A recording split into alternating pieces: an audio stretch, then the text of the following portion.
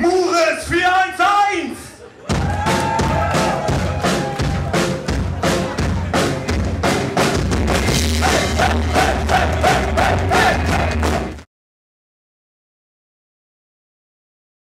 Der Schlagzeuger und der Sänger, die haben sich ja total mit dem Bassisten und mit dem Gitarristen verkracht. Das sind Kohle auf dem Tisch. Also.